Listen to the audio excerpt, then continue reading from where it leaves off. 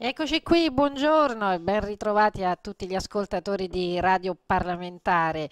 Sono le ore 10.01 di questo venerdì 22 di ottobre e siamo arrivati al nostro appuntamento settimanale con la rubrica Futuro chiama Europa con Luisa Riggimenti, europarlamentare del gruppo PPE Forza Italia.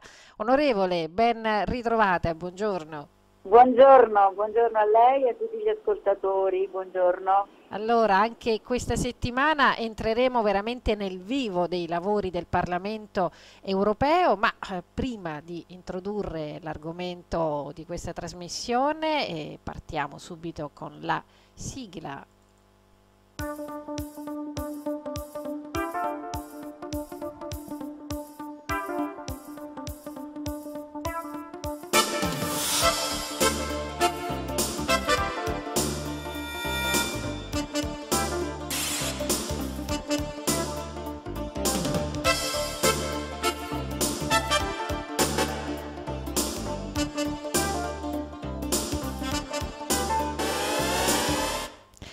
Eccoci qui, allora, martedì scorso il Parlamento europeo ha approvato la cosiddetta strategia Farm to Fork, che in Italia è nota come strategia dal produttore al consumatore per un sistema alimentare più sano e rispettoso dell'ambiente, che tra l'altro insieme anche alla strategia sulla biodiversità per il 2030 proprio vuole guidare l'Europa verso quella che è considerata la transizione agroalimentare. Ecco, ehm, onorevole Reggimenti, i, è sicuramente un cambio di passo e anche di paradigma da, di non poco conto, ci vorrà ovviamente del tempo, questi sono diciamo, i primi passi che l'Europa sta muovendo per, eh, in una prospettiva anche di azzeramento di quelle che sono le emissioni i, di gas a effetto serra e sappiamo come ci sono queste tappe eh, da rispettare 2030 e 2050.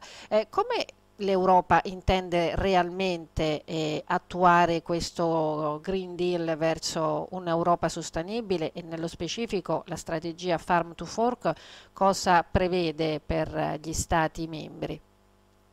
Eh, sì, allora è importante come prima cosa, lei lo ha già fatto in parte, di fornire agli ascoltatori il contesto no, di questa strategia. La strategia eh, Farm to Fork, che, che in italiano appunto significa dal produttore al consumatore, è stato uno dei testi più dibattuti della presente legislatura e eh, ha incontrato numerosi attriti non solo tra i gruppi parlamentari presenti nel Parlamento europeo, ma all'interno dei gruppi stessi. Si tratta eh, di una strategia pubblicata dalla Commissione europea lo scorso 20 maggio 2020 con l'obiettivo di accelerare la transizione verso un sistema alimentare più equo, più sano e più rispettoso dell'ambiente. E questa strategia si inserisce, come lei ha detto correttamente, nel, nel cosiddetto pacchetto del patto verde, il Green Deal, che ha l'obiettivo di raggiungere la eh, neutralità climatica dell'Unione entro il 2050, riducendo, tutti ormai lo sanno, del 55% le emissioni entro il 2030. Questo documento ha avuto un forte impatto nell'opinione pubblica, eh, tanto, il, tanto da portare appunto il Parlamento a proporre una relazione autonoma su questa proposta, con l'obiettivo di creare una linea alla Commissione eh, relativamente sia ai temi da trattare e alle modalità di gestione delle iniziative proposte. Come sappiamo il Parlamento è l'unica delle istituzioni europee direttamente eletta e quindi eh, rappresenta, eh, oltre che gli interessi, l'autentica voce dei cittadini. Il testo è stato appena votato a Strasburgo e ha avuto un'approvazione piena da parte dei parlamentari con 452 voti a favore, 170 contrari e 70 astensioni.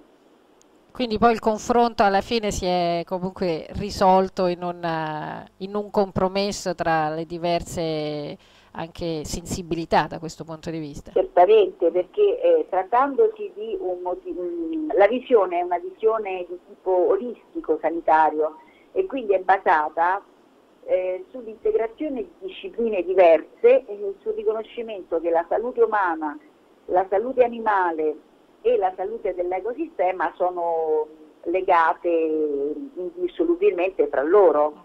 E quindi l'obiettivo è di creare un sistema alimentare europeo, costruire una filiera alimentare che funzioni per i cittadini, per i lavoratori, per, per i produttori e per i distributori. Ora, eh, questo testo alla fine, sebbene si occupi di, eh, una, del settore alimentare, eh, al centro di questo testo praticamente c'è l'agricoltura e quindi eh, la fornitura degli alimenti, la catena di approvvigionamento alimentare e tutta una serie di argomenti che riguardano eh, soprattutto l'agricoltura. Quindi gli agricoltori hanno un, eh, questo ruolo fondamentale e, e hanno, diciamo, sono gli attori principali eh, di, questa, di, questa, di, questo progetto.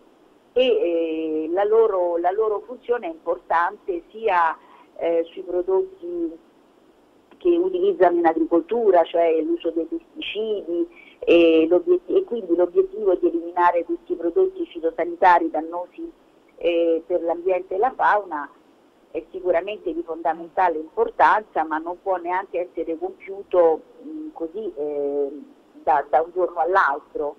E quindi la richiesta correlata alla riduzione dei pesticidi tossici riguarda l'impegno almeno per il 25% dei territori, dei terreni agricoli europei in, trasformarli, trasformarli diciamo, in agricoltura biologica. Cioè si tende a eh, a, a favorire questo processo però in modo graduale, in modo da non arrivare a poi incidere sui prezzi, sulle produzioni e anche sull'occupazione. Ecco, lei ha toccato dei temi molto interessanti eh, in quanto spesso il, anche il cittadino comune è, è abituato a pensare alle emissioni di gas serra, l'anidride carbonica, il, i gas di scarico, ma effettivamente una grande parte delle emissioni climalteranti dipendono dal settore zootecnico, anche riguardo riguardo gli allevamenti, ma, ma anche appunto lei ha parlato dell'utilizzo dei pesticidi che non solo sono un danno comunque poi per quello che riguarda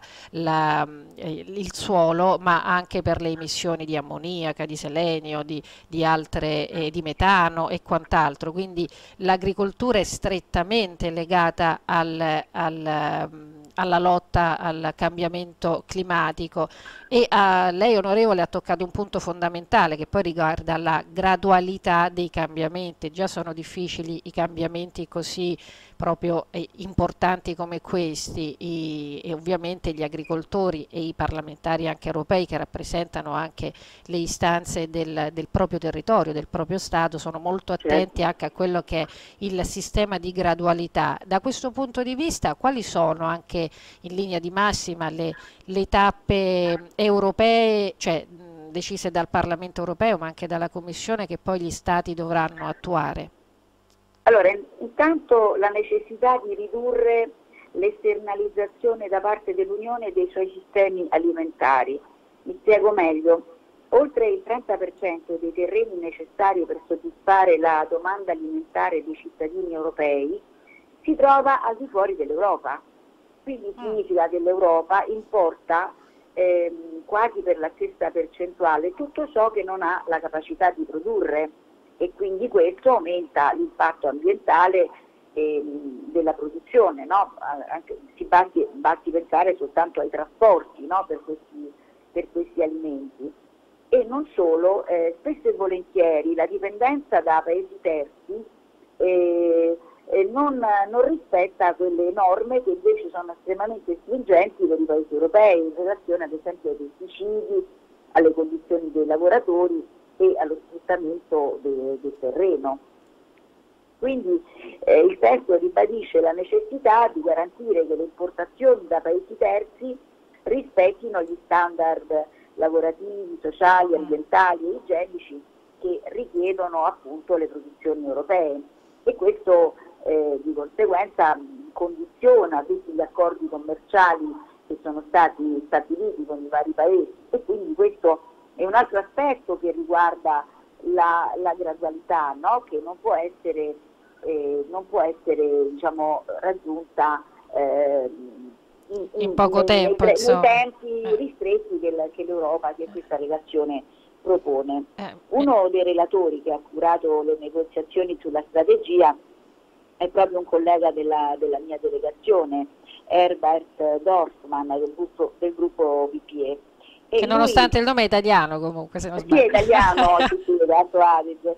Insieme alla collega tedesca Schneider ha saputo gestire molto bene i dibattiti e le contrattazioni tra i vari eh, gruppi politici, perché sostanzialmente che cosa si è verificato? Eh, ci sono questioni che riguardano, eh, sono sensio- questioni sensibili che riguardano i paesi europei, soprattutto quelli del Mediterraneo, Mediterraneo. quindi quasi c'è una divisione, come posso dire, tra i paesi del nord Europa e del, e del, e del sud Europa.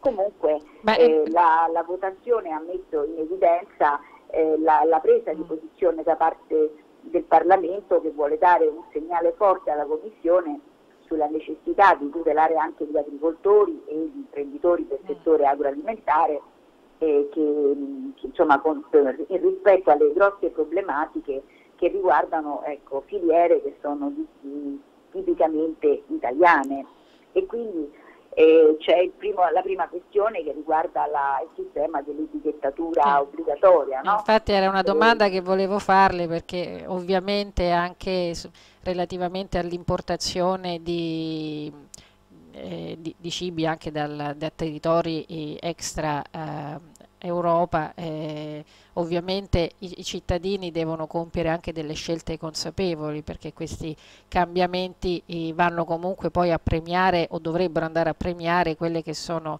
le, le, imprese, le aziende che tutelano maggiormente l'ambiente in un'ottica proprio di sostenibilità e il compromesso è cercare un'etichettatura in grado di informare il consumatore senza condizionarlo, se si ripete spesso ma poi non è proprio così. Ecco, e lì andiamo al, eh, in particolare ad affrontare il sistema del cosiddetto oh, sistema Nutri-Score che Beh, fortemente eh, ne abbiamo sentito parlare così magari abbiamo anche modo di dare ai nostri ascoltatori delle, delle informazioni più precise. Eh, tra l'altro oh, nel, se non sbaglio entro il 2022, onorevole, poi magari mi dirà lei se eh, l'informazione è giusta o sbagliata, eh, l'Europa dovrà armonizzare eh, di, la, la, materia dell'etichettatura del, degli alimenti e il Nutri-Score è proprio uno di, del, degli scontri, specialmente tra Francia e Italia, abbastanza acceso.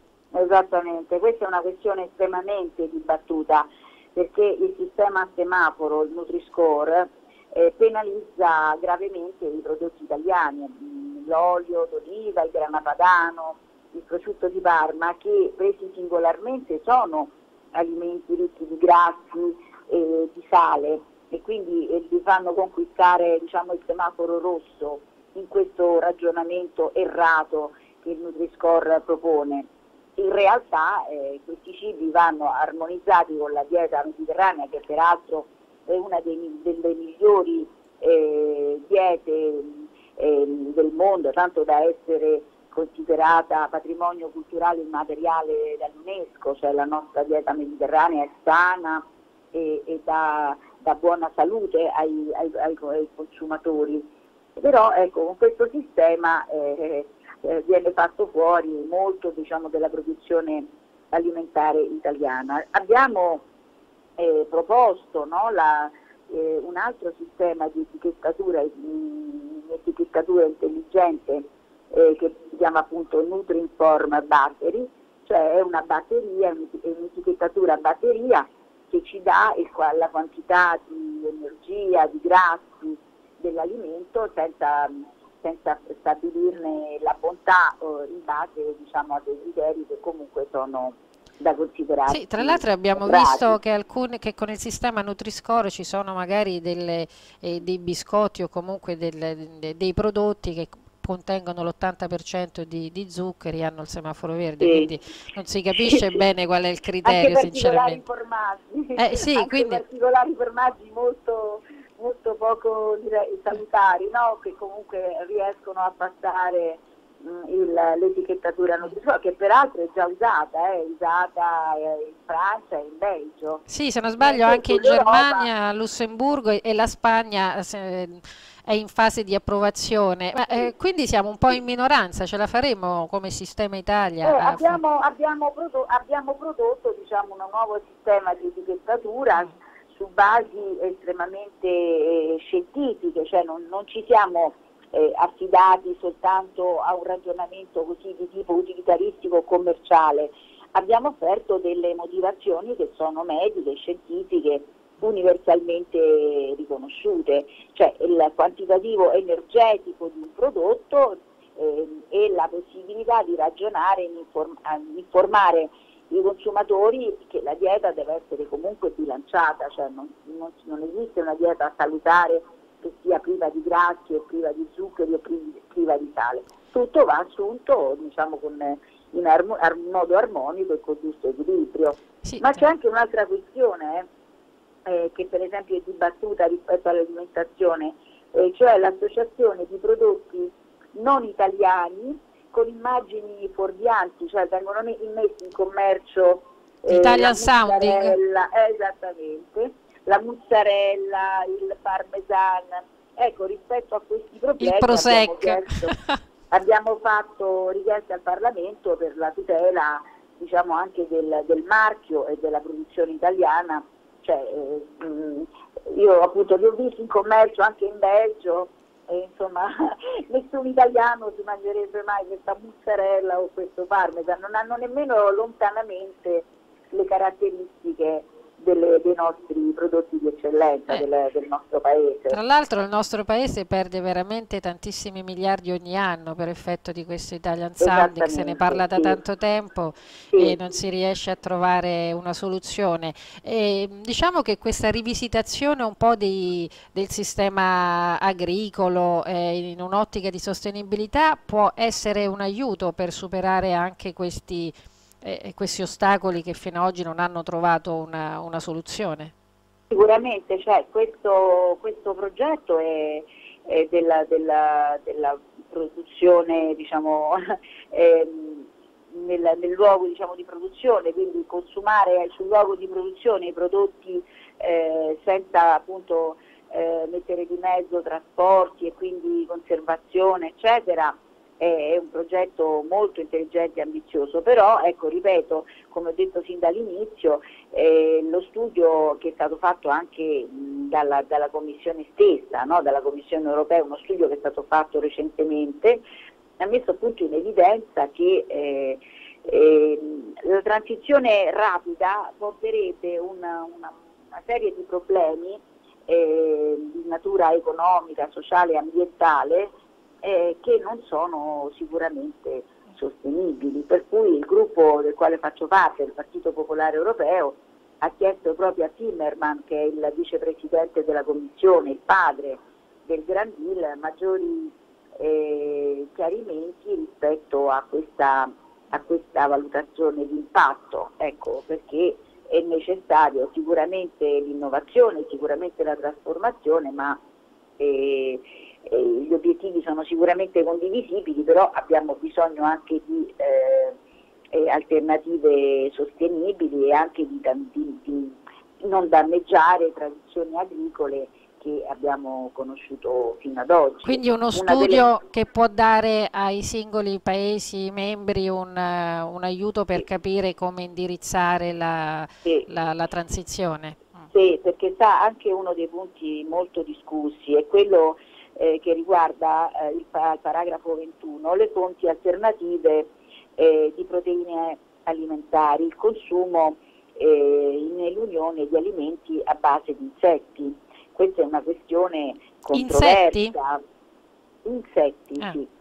Oh, non siamo quindi, abituati a, a pensare agli ecco, insetti nell'alimentazione, di... magari ho capito male. No, no, no, ha capito benissimo. Quindi quando parlo di eh, eh, alterare tradizioni alimentari assolutamente consolidate, eh, è a questo che faccio riferimento.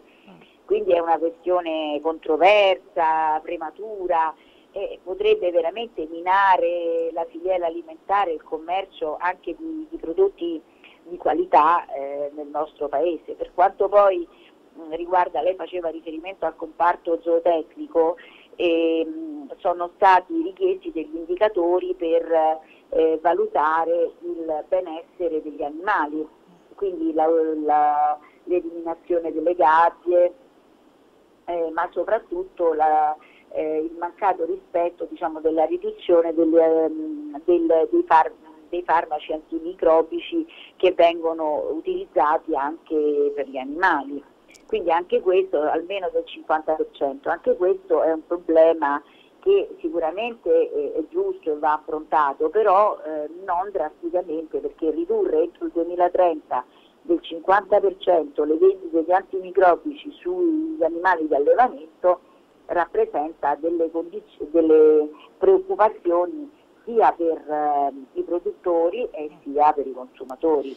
Ecco, sono previsti del, de, dei fondi anche per aiutare le imprese a, a convertirsi in maniera anche riguardo le, appunto, gli allevamenti, le aziende che comunque si, hanno degli allevamenti intensivi o meno intensivi, però ecco, siamo quasi alle soglie del 2022, il 2030 si può dire che è dietro l'angolo da questo punto di vista. Ci sono anche dei fondi che possono aiutare eh, le aziende a questa trasformazione?